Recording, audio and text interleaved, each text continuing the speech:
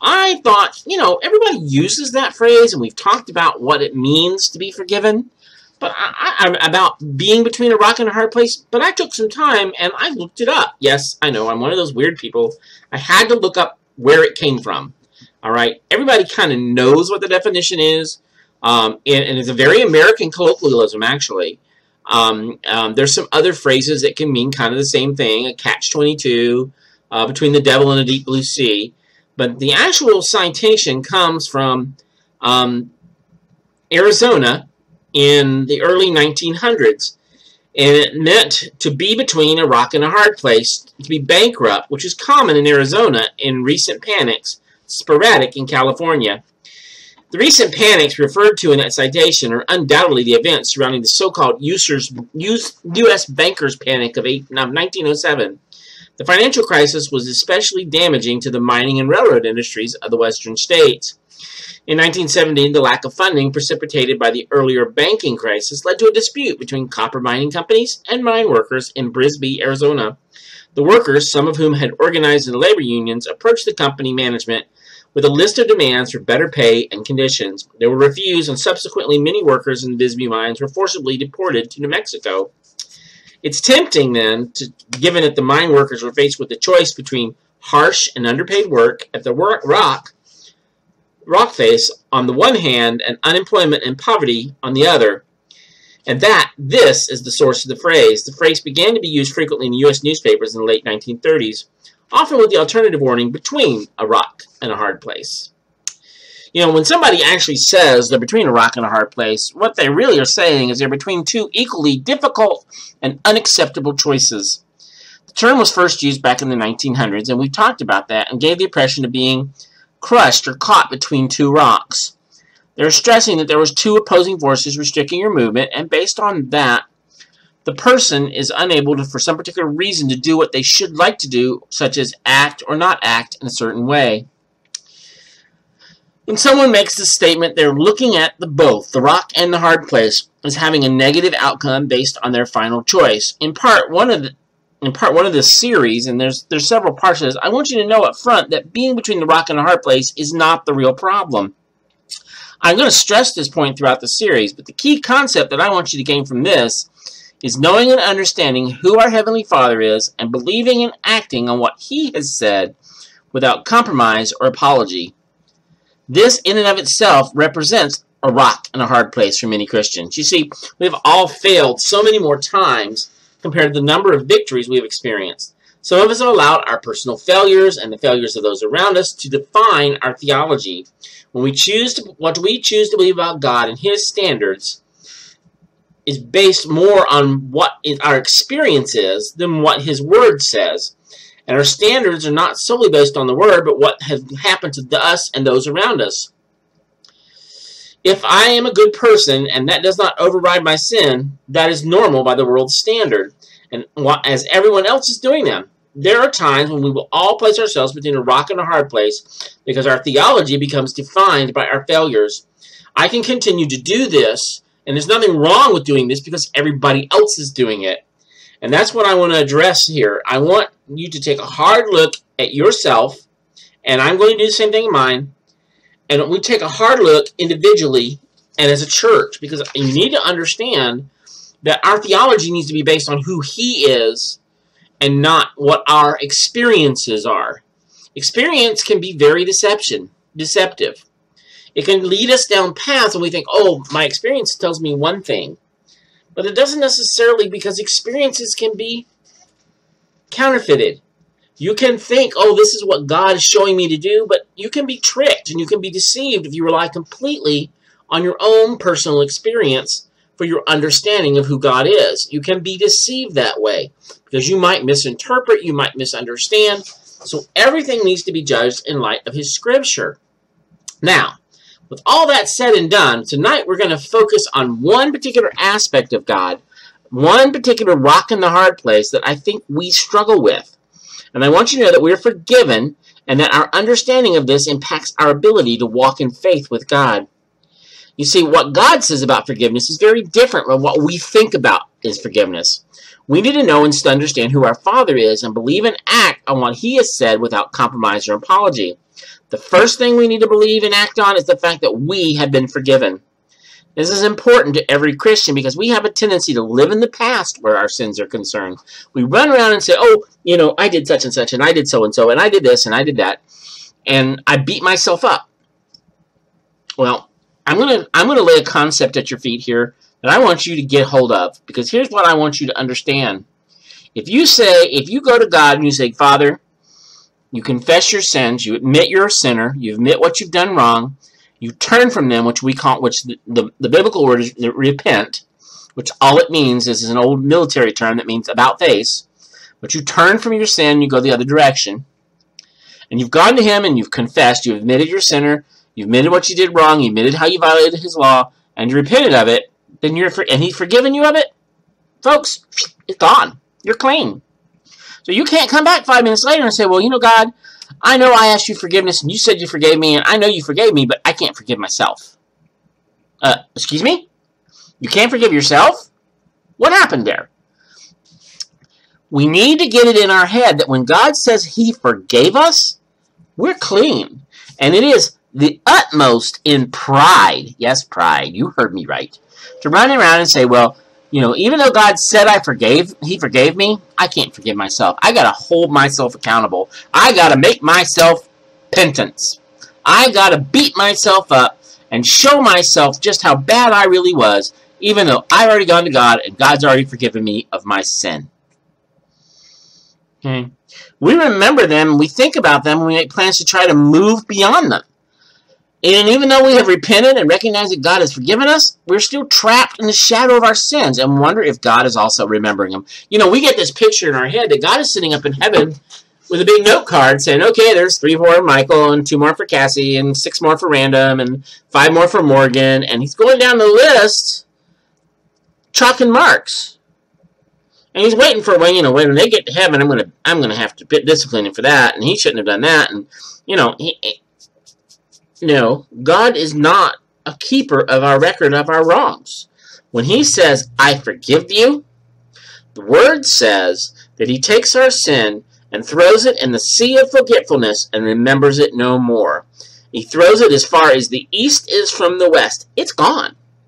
When he says, I forgive you, when you've forgiven by God, the reality is that he's taken it's gone. He doesn't remember it no more. That it is not because God has a bad memory, it's because he's washed it away. It's like it doesn't exist.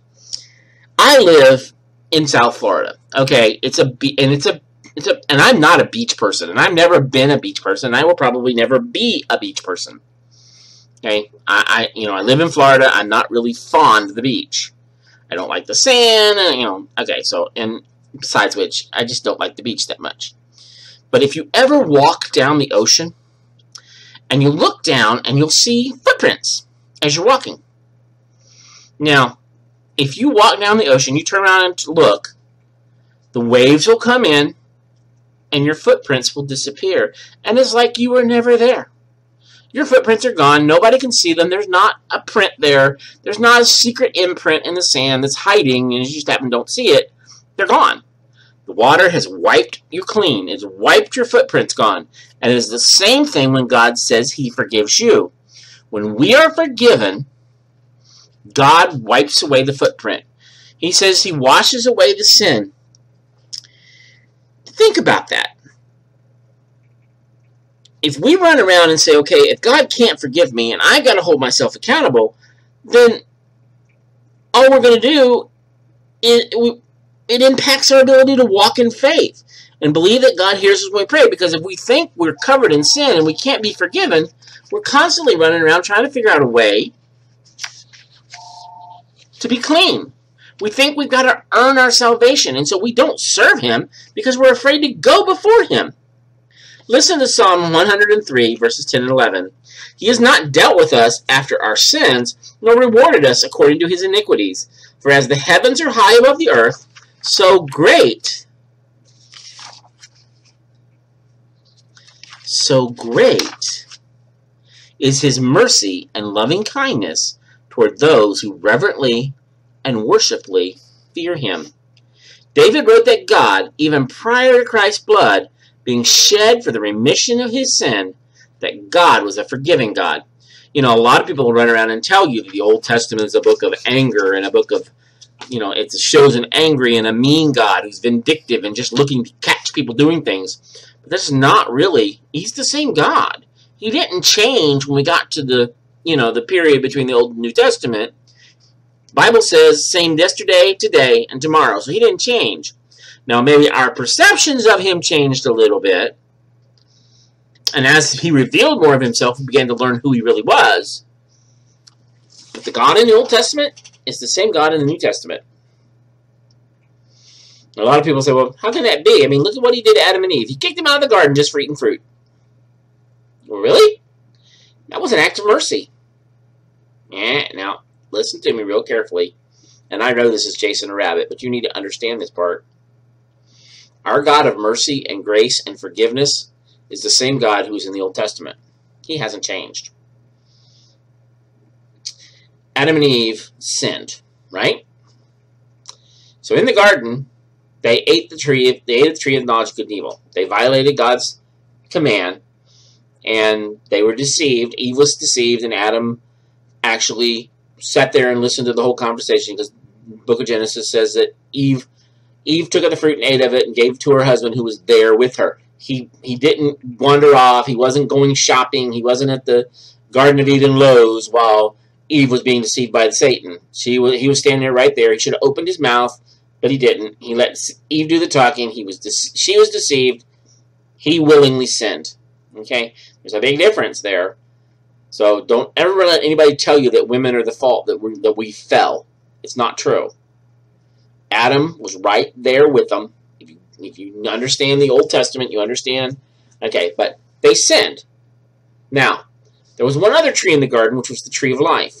It gave eternal life by um, partaking in the fruit. Think about your body as it is now. Think about the corruptible body you have. You get sick, you get hurt. My feet hurt. My feet swell. I have glasses. I eat too much, I'm overweight. All that is part of me. It's part of me here on this planet. At most, I'll live about 70 to 100 years, if I'm lucky. And I take good care of myself. And eat better than I do now. Do I really want to be in this body 10,000 years from now? The same defects and faults and problems? See, Adam and Eve sinned and because they sinned, the only way to be redeemed was death. And so God had to kick them out of the garden so they wouldn't live forever in their sin. It was an act of mercy. The Old Testament is full of mercy if you look at it and realize what's going on. We didn't live in that culture, we don't necessarily understand it, but all of it shows us the same image of God, a God who loved, a God who forgave, a God who was working out a plan so that his son could come to this planet and die on the cross for us. Everything that happens in the Old Testament is simply a prelude. It is simply God working out the details so that Jesus came at the right time, at the right place to save us. God is the same yesterday, today, and tomorrow. His very name means I am, I was, I will be. It's a it's one of those weird words that we don't and we really don't know the pronunciation, but and I know as I'm chasing a rabbit, but I need you to be clear on the fact that the Old Testament God who was there in the Old Testament was just as forgiving and just as loving as the God we come to understand through his revelation through the New Testament. Okay? So David wrote that God was providing a way forgiveness. He knew who God was. He knew his mercy. And and so he understood that where we were once filthy rags, he washed us in the blood of the Lamb and came out white as snow and perfect as new cloth. This is the God we serve. This is the God who says, I forgive you. I forgive you for whatever it is that you think you've done that's so horrible. I forgive you. Isaiah 118 says, Come, let us discuss this, says the Lord. Though your sins be as scarlet, they will be as white as snow. Though they are as red as crimson, what? They will be like wool. God reached out to his people and gave a promise that even though their sins were great and red like crimson, they would be washed away Think about someone who removes stains from white clothing by adding bleach to the wash cycle. God, my mother absolutely loves bleach. She bleaches a lot. I've got some clothes that I've, you know, that didn't survive the bleaching process a couple times. This is over the course of years. This is not like it happens all the time. But it happens, and I've got some holy clothes that it got bleached when they shouldn't have been bleached. It happens. But bleach wipes away stain. I mean, that's that's the best thing I can think of to take away stain. Sometimes it takes away clothes, and sometimes it takes away, you know, but it does take away the stain. Well, God wipes away our stain, much like bleach does. God bleached our sins to where they no longer exist. And those that we have repented from, they're gone. God says, You're gone. Cassie, you confessed, you repented, I've cleaned you. Don't come back to me five minutes later and say, Well, God, you remember I did such and such. No, I don't. I don't remember it because you're clean. I washed it away. When I look at you, God says, I see my son. My son took your penalty. My son washed away your sin. My son cleansed you. And because you have asked for forgiveness, and because you have truly repented, and because you have sought that, and I gave you forgiveness, I cleaned you, your sin's gone. Now, please don't just understand this. I'm not telling you that if you go to God, let me pick something totally ridiculous you go to God and say, Look, God, I'm sorry. I painted the church pink last night. And I, I don't know that that's really a sin, but I painted the church pink. I go to God, I say, I'm sorry I painted the church pink. Church is pink. God says, It's all right. I know. I forgive you. I confess it. I repent. I'm never going to paint it pink again. God's forgiven it. It's wiped away. As far as he's concerned, the sin never happened. The church is still paying. The consequences of my action are still there. Am I held responsible for it in my sin? No. In the physical world? Yeah. If I go and rob a bank and I realize later that this is a horrible thing to do, I violated God's law, I'm, I go to God, I'm truly sorry, I ask forgiveness, I repent of it, I confess, I repent, and then the police come and arrest me and they take me to prison. I'm still going to jail. I robbed a bank. There's consequences built into our actions in our natural world. But that doesn't mean that you've been that God holds your sin against you. Okay? Yeah, there's built-in consequences, and that's one of the reasons the best thing to do is to try to obey him so that you can avoid those built-in consequences. But our obedience comes because we love him, not because we have to. It's not our duty. We're not doing things to earn God's love and favor. He loved us anyway. He sent his son to die for us while we were yet his enemies. So he doesn't need us to do stuff to be forgiven. He gives us stuff because he loves us, and we serve him and we obey him because we love him. Do you get the difference? I, I need you to be real clear on that because I don't want you to run around saying, well, Pastor Mike says that if I do something and I violate God's law and I go to Him and confess and repent and He forgives me, it's gone and I don't have to suffer consequences for it. It's not really what I'm saying. You don't have to suffer the ultimate consequence. You're not going to hell for it. That part's true because Jesus paid the price for you. He's already died in your place. And He's washed away your sin, and all you have to do is accept that free gift, and you're done. You're forgiven. And so, because of that, the other thing I need you to see is the flip side of this. You cannot run around and beat yourself up and say, oh, I'm such a horrible, horrible person. You know, God forgave me, but I can't forgive myself. I'm going to beat myself up. I'm going to run around and hit myself with a stick. I'm going to do whatever it takes to punish myself for what I've done because I violated God's law. And God says he forgave me? That is the height of arrogance. That is like saying, God, you're not powerful enough to forgive me. I've done something so bad that even you can't forgive me for. And even though you said you forgave me, I'm basically calling you a liar, God. I'm basically saying, you're not telling me the truth. You couldn't possibly have forgiven me. I've done something so, so bad and so, so horrible that even God can't forgive me. And so God is lying about forgiving me. Exactly what you say when you say, I've done stuff that God can't forgive me for. And it's exactly what you say with, when you say, I've gone to God, He's forgiven me, but I can't forgive myself. You're saying God isn't powerful enough and you are? That your opinion is more important than God? God bleached away our sins, and so they no longer exist in His economy. Those that we've repented from, and they've been washed away. It is like walking on that beach. It is like saying the footprints are gone. They've been wiped away.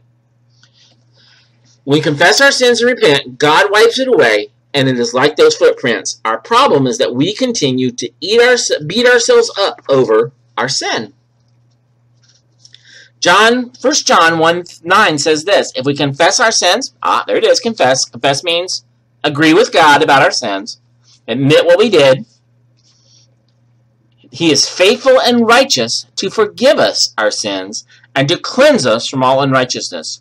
When we confess and repent from sin, God cleanses us. Period.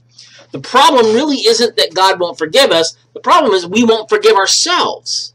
We think we have the right to not forgive ourselves when God has forgiven us. And that's arrogance and that's pride. That's saying my opinion is more important than God's. And so when we run around and dwell and fester on our past sins and failures, even though they're forgiven, even though we've watched clean, even though we've confessed it, it's like we're watching a rerun of a really bad movie and we know what's going to happen and the outcome is always the same, but you just can't change the channel because you want to see if it changes each time you watch it. You cannot change the outcome of your past.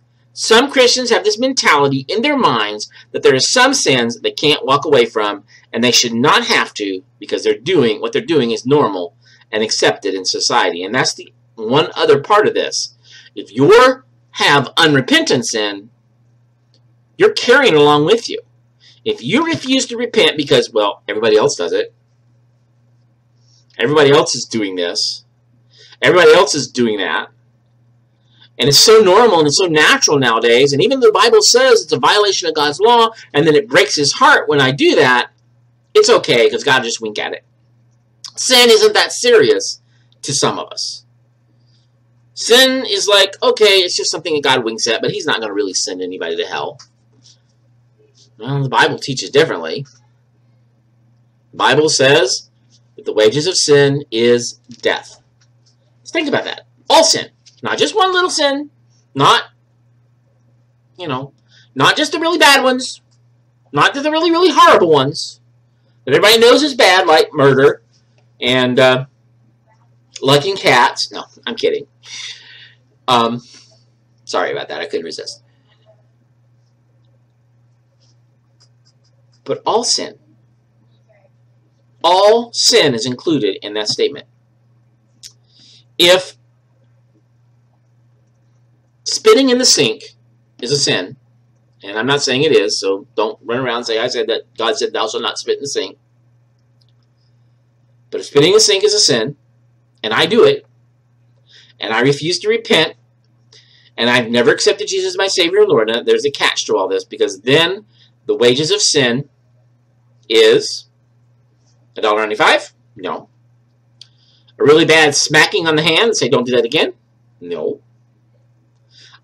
Something I can work out by doing a lot of good stuff to replace it? No. The wages of sin is death. Period. And the gift of God is eternal life through Jesus Christ our Lord. And see, there's the difference there. I mean, we don't, our sins earned us a one-way trip to hell. And if we get what we deserve, if God decided tomorrow to be fair, we'd all be in trouble. Because we fairly got what we deserve, we'd all be on our way to hell. But he chose to be merciful. And because he chose to be merciful, he chose to send his son to die for us. And so Jesus came to earth, he died on a cross, he rose again, and in washing away our sins, he took our place. He took our punishment for us. So what we need to understand is we're never going to move forward until we get out of this mentality that says, I've got to beat myself up, or I can keep sinning because it's not that big a deal. Sin is just something God winks at. Sin is not a big deal. Well, yes, it is. All sin leads to death. Period. The wages of sin is death, but the gift of God is eternal life through Jesus Christ our Lord. And just because our society or our world or the people around us say, well, that's normal, everybody does it. Everybody steals on their income taxes. Everybody cheats at the grocery store. Everybody lies to their friends. Everybody lies to their teacher, to their boss, or to their wife, or to their kids. Everybody does it. If everybody's doing it, how can it be wrong? But God says it's sin, and you do it, then you've decided that sin isn't serious. So you got two choices. You either recognize that when God forgives you, you're forgiven. Period. Clean. He doesn't hold grudges. He's not running around. There's not an accountant in heaven. God does not have an accounting department that sits up there and runs an out calculator every time you mess up. And when you go to him and say, Father, forgive me for I have sinned, he wipes it clean. At the same time, sin is serious, and unless you have a relationship with Jesus Christ as your Savior and Lord, then you're going to get what you deserve for your sin. And the wages of sin is death, but the gift of God is eternal life. God spoke to Jeremiah and told him this No longer will each person teach his neighbors or his relatives by saying, Know the Lord, all of them, from the least important to the most important, will know me, declares the Lord, because I will forgive their wickedness and I will no longer hold their sins against them. The prophecy pertained to the new covenant which we are all under. God said that under this covenant we will know him and that he will forgive our iniquities to sacrifice in order to pay the price for their sin. In our case, however, we have a sacrifice already. His name was Jesus Christ. He died for us already. And so because he did all that, we are no longer dependent on the sacrifice of animals to represent what he was going to do. See, Jesus already took care of all that. We don't have to do any of that.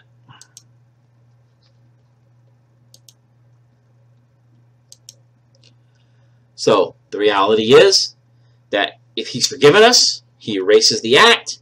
At that point, it's up to each of us to move beyond the sins that we have committed and focus on our future. The same principle applies to mistakes we've made in our lives. And we're and I'm not necessarily talking about things that God calls sin, but when we make mistakes, we need to move on. We need to get past it and let it go.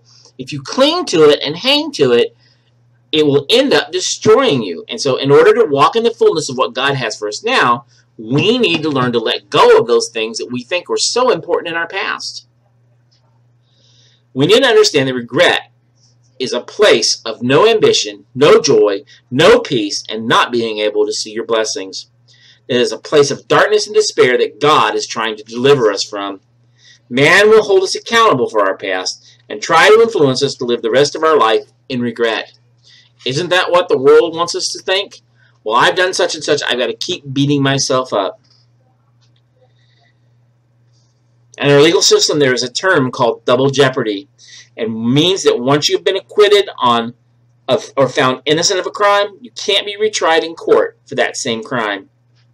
That is our legal standard in which we operate, by, but, but by which we do not apply to God's forgiveness. Many of us live as if God is constantly retrying us for the sins in our past sins that have been washed away by the blood of Christ. We're no longer held for them. We're no longer accountable for them. As far as he's concerned, we wash clean. And we refuse to accept the fact that God has forgiven you and move on. The acceptance will enable us to begin to truly walk in faith without question. We will no longer have to wonder if God is truly hearing us or is he sitting there thinking, well, you know, I know they confessed the sin and I know that they did such and such a year ago, but you know what? I haven't let go of it. And I know they confessed it, and I know I told them to forget of it. See, God's idea of forgiveness is so different and so radically different from ours that it takes us a little while to figure it out. That what God is saying is, I don't hold you accountable for this. I've washed you clean. You're no longer, I've declared you innocent.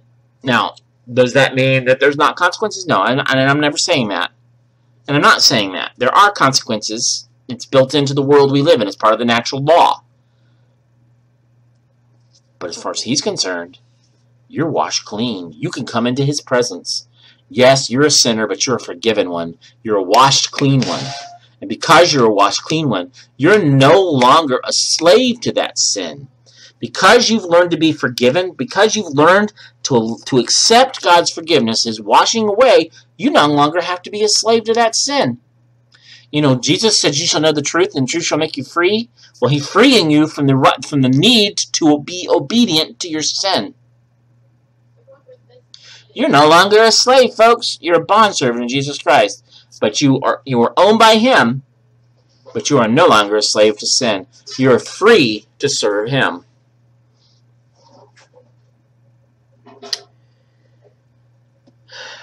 When the voices around us try to declare that we are unfit to serve God because of our past, remember it is God through Jesus Christ who justified each of us. He called us innocent. God has declared that we are qualified to serve, and only God.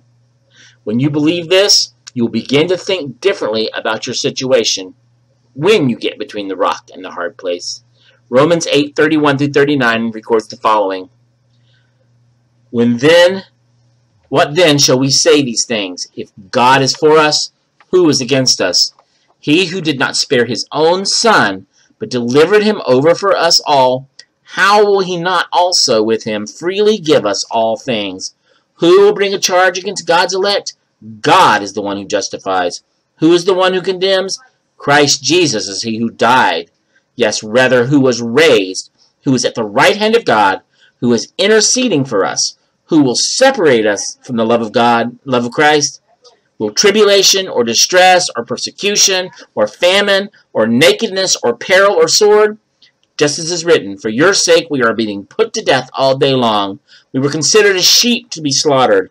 But in all these things we overwhelmingly conquered through him who loved us. For I am convinced that neither death nor life, nor angels, nor principalities, nor things above, or things below, or things in, things in present or things to come, nor powers, nor height, nor depth, nor any other created thing be able to separate us from the love of God, which is in Christ Jesus. Every tangled time when we are between a rock and a hard place, it is our knowledge that God has restored us from when we failed Him that gives us the confidence that He is with us. If you are running around thinking, God can't possibly forgive me for this, I'm not even going to ask. When it comes to the hard choices, when you've got to make a decision, when you come to that point where you're between two difficult choices and you need to make a choice that's in line with Him, you don't really trust Him because you don't think he's forgiven you. You think he's looking for a way to catch you. Somehow or another, we've gotten in our heads that God is sitting up in heaven with a giant sledgehammer waiting, ah, I'm waiting for them to make a mistake so I can bop them on the head. But that is not God. That is not God in any picture in his word. And his word is his revelation of himself to us. If we know we're forgiven, we don't have to wonder what is going to happen when he promises he will rescue us and protect us. We don't have to be afraid when we're walking with God and believing and acting on what He says without compromise. Some of our decisions, without, although difficult in the flesh, will be clear when we have to act on them because we have repented, we are forgiven. Your footprints have been erased by the waves of God's love through the blood of Jesus Christ. We can walk a new path. And as we go through this week, remember the fact that if you have repented from your sins, you are forgiven. You are restored to the relationship with God, and being between a rock and a hard place is not a problem that we make it out to be if we understand our Father.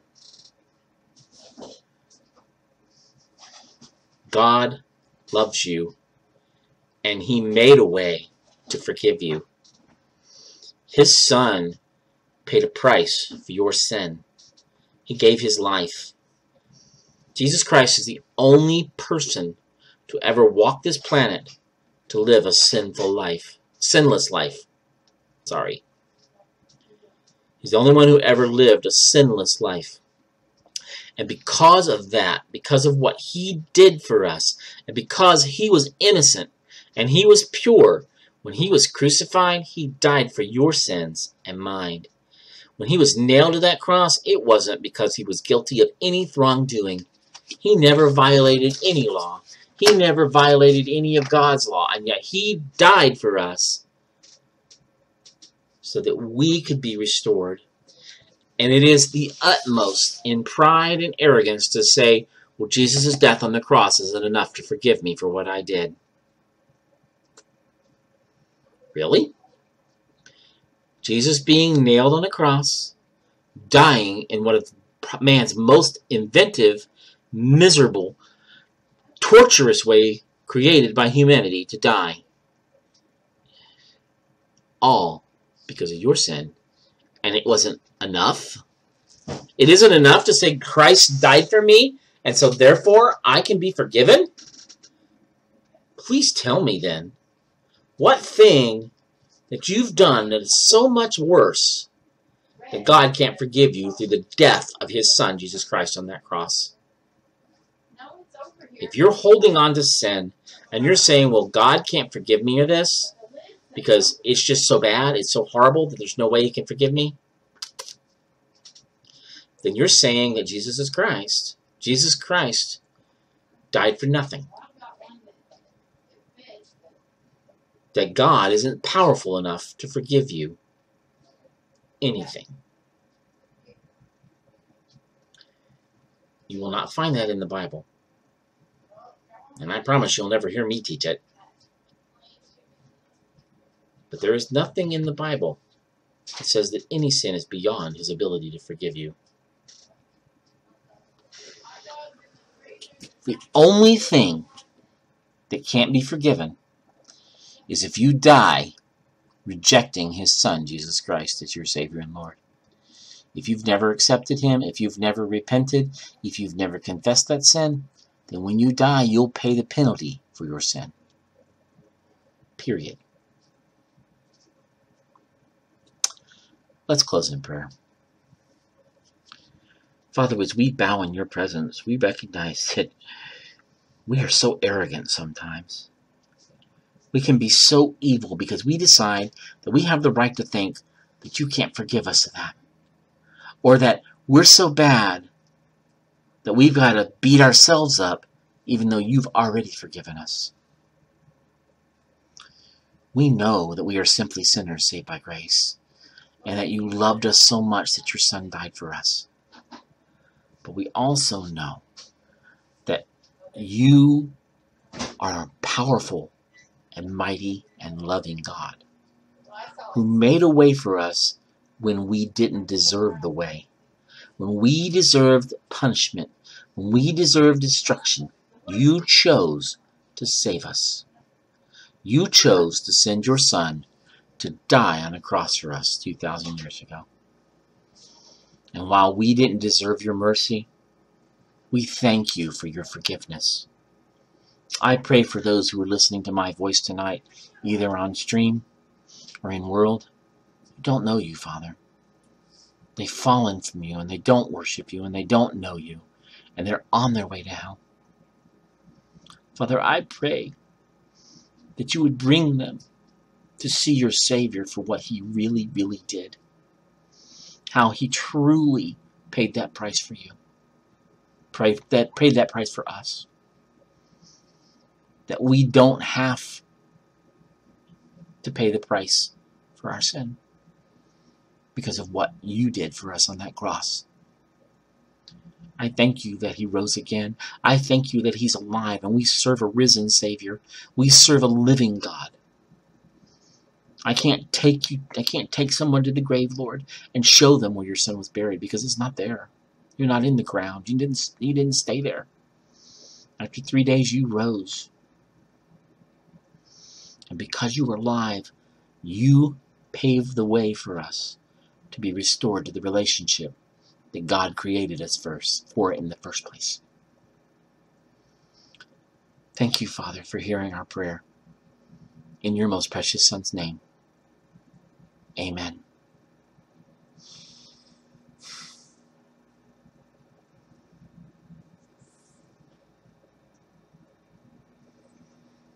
Now, there's some of you who've listened to my voice tonight, and your relationship with Him is struggling because you're running around telling God, You can't forgive me of this. Please, it is time to let go of your past and allow God to wash it away.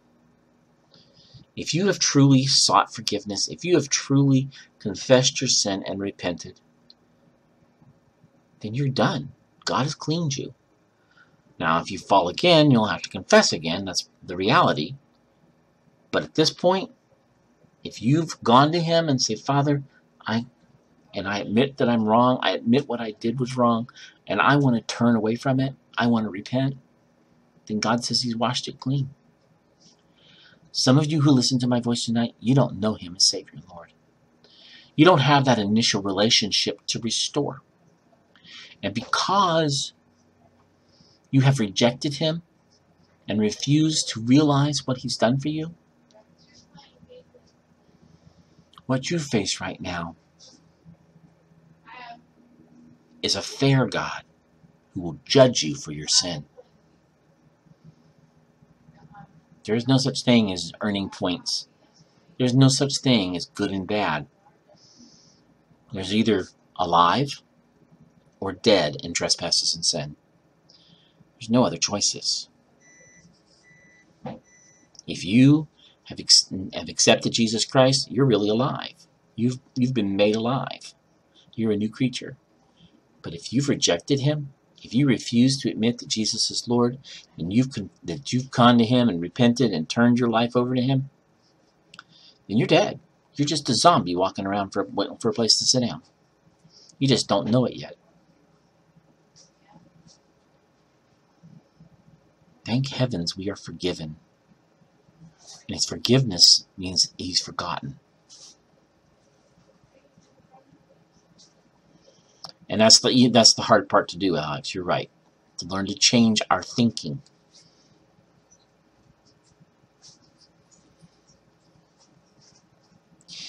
If you listen to my voice tonight and you don't know who he is, yes, you're right, Random.